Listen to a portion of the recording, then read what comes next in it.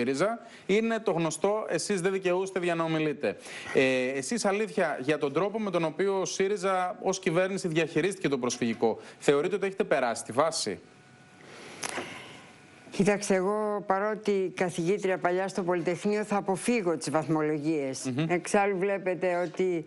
Είχατε καταργήσει και τις βάσεις εξάλλου εσείς, ε, Εμείς είχαμε καταργήσει και τις βάσεις γιατί όπως ξέρετε πολύ καλά ανάλογα με το πόσο δύσκολα είναι τα θέματα κάθε φορά mm τα παιδιά πετυχαίνουν ή δεν πετυχαίνουν. Άρα η ναι. βάση είναι κάτι διαφορετικό.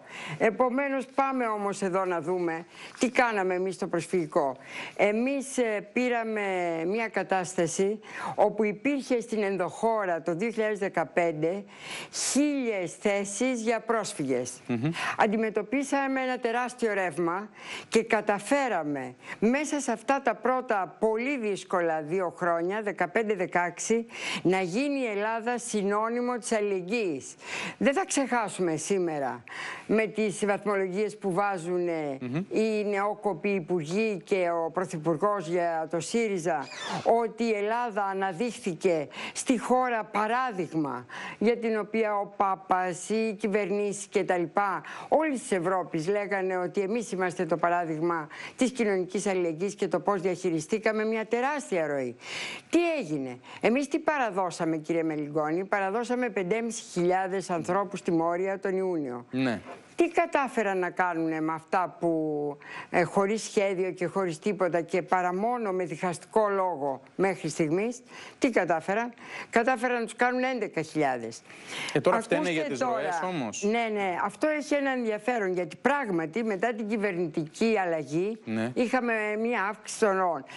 Μου λέτε, είναι δυνατόν αυτή η νέα κυβέρνηση για την αύξηση των ροών; Όχι κύριε Μελιγόνη, δεν φταίει η νέα κυβέρνηση. Αλλά... αυτό έπρεπε να το είχαν καταλάβει και εκείνοι όταν κατηγορούσαν το ΣΥΡΙΖΑ αντίστοιχα σε άλλες περιόδους ότι ο ΣΥΡΙΖΑ φταίει που έρχονται οι πρόσφυγες. Γιατί; Το μεταναστευτικό είναι ένα πολύ δύσκολο πρόβλημα, ένα πρόβλημα σύνθετο, αφορά τη γεωστρατηγική μας θέση ακριβώς Είμαστε τα σύνορα της Ευρώπης, είμαστε δίπλα σε μια Ανατολή που φλέγεται, σε μια Ανατολή στην οποία έρχονται μεταναστευτικές ροές είτε λόγω πολέμου είτε λόγω ανέχειας ναι. και αυτή τη στιγμή βρίσκονται αυτοί οι άνθρωποι να θερίζουν, να θερίζουν μάλλον τους καρπούς αυτών που κάναν όλα αυτά τα χρόνια. Τι δηλαδή εννοώ; Εννοώ ότι αυτά τα χρόνια όλα τι κάνανε σε σχέση με τους δημάρχους, σε σχέση με τις τοπικές κοινωνίες, ιδιαίτερα μετά τις πρέσπες, με ένα διχαστικό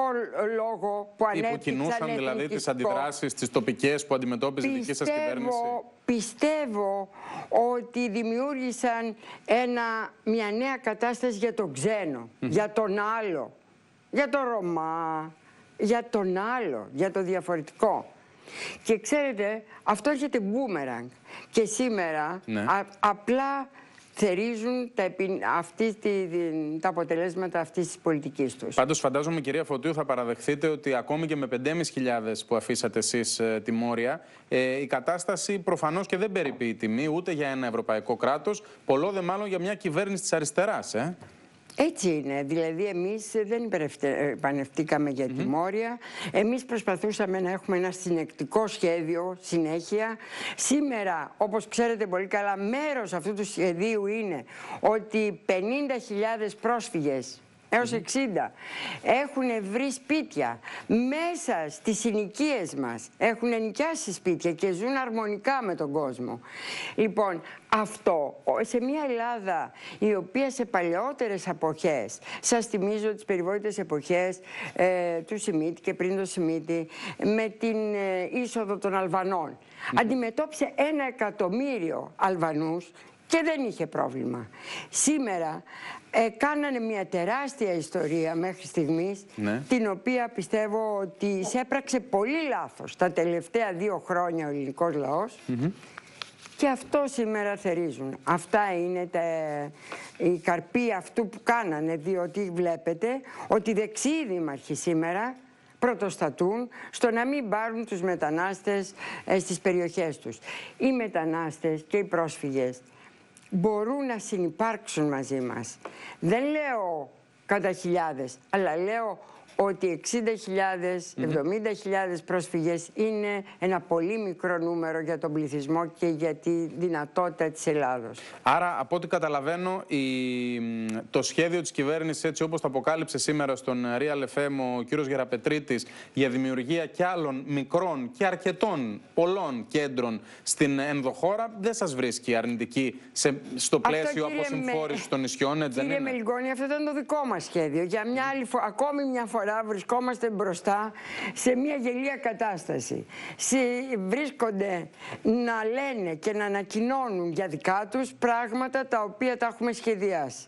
Και καλά θα κάνανε να τα ακολουθούσαν όλα όσα έχουμε σχεδιάσει, αλλά φαίνεται ότι δεν αντέχουν να πούνε και ένα καλό λόγο για αυτά που έχουν γίνει μέχρι σήμερα, παρόλο που όπως βλέπετε παραλάβανε μια άλλη Ελλάδα από αυτή που μας παραδώσανε, μια Ελλάδα η οποία βρισκόταν στα χείλος της καταστροφής όταν μας την παραδώσανε και σήμερα βρίσκουν μια Ελλάδα πολύ διαφορετική έξω από τα μνημόνια.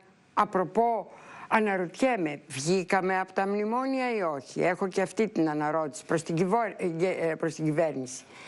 Γιατί μέχρι πριν τρει-τέσσερι μήνες άκουγα ότι δεν βγήκαμε από τα μνημόνια. Σήμερα ή έχουμε βγει ή δεν έχουμε. για, για ρωτήστε κανένα κυβερνητικό να μάθουμε και εμείς. Βεβαίως, επιφυλάσσομαι. Ε, για να κλείσουμε το προσφυγικό, ε, γιατί φαντάζομαι θα έχετε να μας πείτε κι άλλα που θεωρείτε ότι η κυβέρνηση τρώει από τα έτοιμα. Θα κλείσω ρωτώντας σας αν σας στενοχώρησε η δήλωση του Γαβρίλη Σακελαρίδη, όσο και αν ο ίδιος ε, έχει ξεκαθαρίσει και με δηλώσεις του και με ανάρτησή του στο Facebook ότι δεν παίζει κανένα πολιτικό παιχνίδι υπέρ ή κατά κανενός. Ε, είναι, ήταν πρώην σύντροφός σας. Υποθέτω ότι πολιτικές εντυπώσεις εξάγονται από όλη αυτή την ιστορία. Δεν με στενοχώρησε καθόλου και τη ναι. θεωρώ σωστή. Γιατί ο κύριος Ακελαρίδη έχει ένα συγκεκριμένο ρόλο. Επικεφαλής του ελληνικού τμήματος Διεθνούς Αμνηστίας. Επικεφαλής της Διεθνούς Αμνηστίας. Και ξέρετε ότι η Διεθνής Αμνηστία έχει εισπράξει πάρα πολλά βέλη εναντίον της όλο αυτό τον καιρό και προηγουμένως. Εγώ θεωρώ ότι επιτελεί ορθώς το ρόλο του. Ο κύριος Ακελαρίδης πρέπει να καταγγείλει την κατάσταση στη Μόρια. Βλέπετε ότι και εγώ είπα ότι δεν είμαστε ευχαριστημένοι με την κατάσταση στη Μόρια. Αλλά ακούστε να δείτε, ο, είναι το μεγάλο πρόβλημα της πρώτης εισόδου. Και βλέπετε ότι όταν υπάρχουν αυξημένες ροές, ναι. η πρώτη είσοδος έχει πρόβλημα.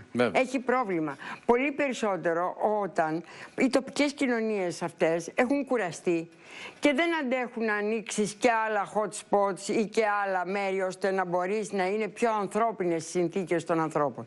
Όλοι ξέρουμε και εμείς το έχουμε πει πάρα πολλές φορές ότι 3.000 άνθρωποι μπορούν ε, να ε, συνεπάρξουν αρμονικά στην Μόρια ναι. και με ανθρώπινες και σωστά συνθήκες. Από τη στιγμή που αυτό το νούμερο ξεπερ, ξεπερνιέται και με εμάς ε, ξεπεράστηκε, ναι.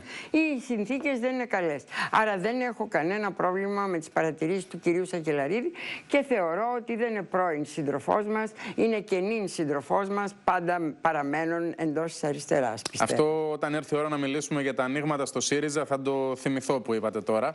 Ε, πάμε όμως στα της οικονομίας. Κυρία Φωτίου, μας λέγατε και από εδώ, από αυτό το στούντιο, μας προειδοποιούσατε μάλλον ότι αν έβγαινε η Νέα Δημοκρατία θα καταργούσε επιδόματα, θα συγχώνευε επιδόματα. Εδώ και δύο μήνες βλέπουμε η είδηση είναι τότε πληρώνεται το ΚΕΑ, τότε πληρώνεται το ένα, τότε πληρώνεται το άλλο δεν έχει καταργηθεί τίποτα. Ε, Μας ε, λέγατε ότι θα γίνουν απολύσεις ε, στο δημόσιο. Ο κύριος Θοδωρικάκο βγήκε σήμερα και είπε ότι όχι μόνο απολύσεις δεν θα γίνουν, αλλά σκέφτεται και μετράει που υπάρχουν κενά για να γίνουν και προσλήψεις. Μήπως τελικά ε, αυτά τα οποία μας λέγατε προεκλογικά διαψεύδονται τώρα; Εμείς τα λέγαμε ή αυτοί τα λέγανε; Γιατί, κύριε Μελγκόνη, αν θυμάστε καλά, τα επιδόματα στοχοποιήθηκαν και κατηγορήθηκαν ως υπόλογα του ότι η μεσαία τάξη εξαιτίας τους δεν ανάσαινε. Όντως. Ε, τι έγινε μετά; Μετά, άρα, ήταν προφανές ότι ήταν στο στόχαστρο τα... Γιατί, γιατί τα είχε κάνει ο ΣΥΡΙΖΑ.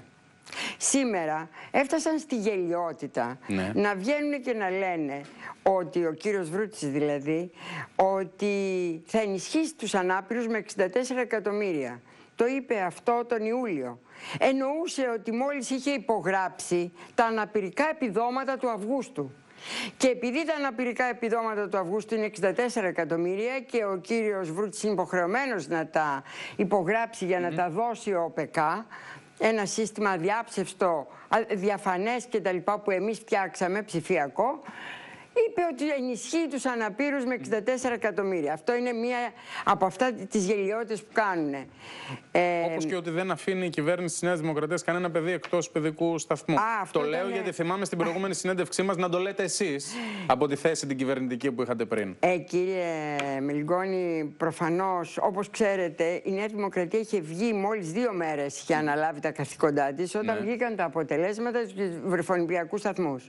Υπενθυμίζω, το 2015 εμείς πήραμε 79.000 βάουτσερ κόστους 170 εκατομμύρια. Μέσα σε τέσσερα πολύ δύσκολα χρόνια βάλαμε άλλα 100 εκατομμύρια, δηλαδή 270, έτσι ώστε να μην μείνει κανένα παιδί έξω από τους βρεφονιπιακούς σταθμούς. Το όπερ και έγινε τις 10-12 ε, Ιουλίου, αν θυμάμαι καλά, που βγήκαν τα αποτελέσματα. Ναι. Βγήκανε και συγχαίραν ο ένας τον άλλον και λέγαν μπράβο, αυτό που είπε ο Μητσοτάκης ότι κανένα παιδί δεν θα μείνει έξω από τους βερφονιπιακούς σταθμούς, επετεύχθη. Αυτά είναι mm μεγάλες γελιότητες και λυπάμαι πάρα πολύ που μια κυβέρνηση νεοσύστατη έχει ανάγκη να διέλθει αυτών των ε, μέτρων. Νομίζω όμως ότι για να ολοκληρώσουμε αυτό, εγώ θα έλεγα ότι ο Μητσοτάκης πηγαίνοντας στη ΔΕΘ έχει τέσσερα κρυφά πακέτα και φανερά. ε, Ποια είναι αυτά; Ένα από τα κρυφά είναι αυτό δηλαδή ε, φανερό κρυφό, ε, παρουσιάζει ως δικά του τα επιτεύγματα του ΣΥΡΙΖΑ και ταυτόχρονα την ίδια ώρα κατηγορεί το, το ΣΥΡΙΖΑ για αυτά. Παραδείγματος χάρη, τα capital controls. Κύριε Μελιγκόνη, όλοι οι Έλληνες ξέρουν ότι τα capital controls είχαν τελειώσει με εμάς. Είχαν τελειώσει. Απέμενε μία υπογραφή του Στουρνάρα για ένα δευτερευούς σημασίας θέμα. Δεν την έβαζε και δεν την έβαζε εσκεμμένος για να μπορέσει να τη βάλει όταν θα ερχόταν η κυβερνητική αλλαγή. Το δεύτερο, είχαμε πει, ε, κάναμε την αύξηση των συντάξεων κυρίας. Ναι. Για καταλάβει, αυτές τις μέρες τι έχετε καταλάβει; Ότι η κυβέρνηση έδωσε τη συντάξη κυρίας και μάλιστα, Σεπτεμβρίου, ναι. μάλιστα, και μάλιστα αυξημένες. Mm Αυτές ήταν η νομοθετική ρύθμιση που έκανε η κυβέρνηση τον Ιούνιο. Γιατί τον Ιούνιο και τι είχαν πάθει μέχρι τότε οι χείρες, ακριβώς γιατί όπως ξέρετε ήταν μνημονιακή υποχρέωση ιστορία των συντάξεων κυρίας, ναι. είχε περιθώριο να εφαρμοστεί μέχρι το Μάιο του 2019. Εμείς ακριβώς μόλις βγήκαμε από τα μνημόνια αλλάξαμε αυτό και ποτέ δεν υπήρχαν επιπτώσεις στις συντάξεις χειρίας και τις αυξήσαμε. Λοιπόν, αντί τώρα να επιχαίρει για τις συντάξεις χειρίας θα έπρεπε να μας πει κι άλλο ένα μεγάλο ευχαριστώ. Ε, η μείωση του έμφυα. Ξέρετε πολύ καλά ότι τη μείωση του έμφυα την ξεκινήσαμε εμείς. Αυτό που σήμερα ε, έχει ο λαός δει στα εκαθαριστικά του το έμφυα, κυρίως οι χαμηλές περιουσίες, ναι. είναι η δική μας εξαγγελία αυτό το οποίο υλοποιήσαμε, το 30% και το οποίο ψηφίσαμε.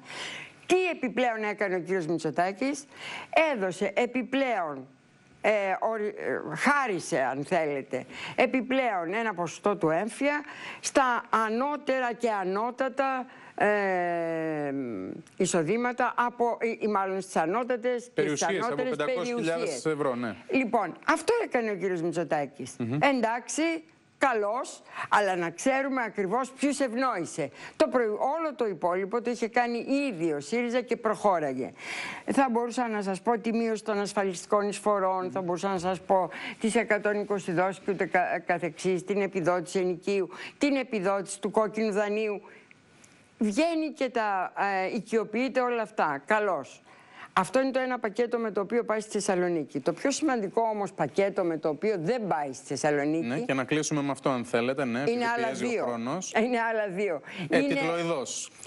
Ναι. ε, το άλλο το πολύ ενδιαφέρον είναι ότι ο κύριος ε, Μητσοτάκης δεν πηγαίνει με το πακέτο το οποίο τον έφερε στην εξουσία. Το 3,5% πρωτογενές πλεόνασμα που θα έκανε τώρα. Γιατί κύριε Μπελγκόνη τώρα, γιατί το πρωτογενές πλεόνασμα 3,5% είναι υπογεγραμμένο για μέχρι το 22. Δηλαδή το 22 τελειώνει. Ναι.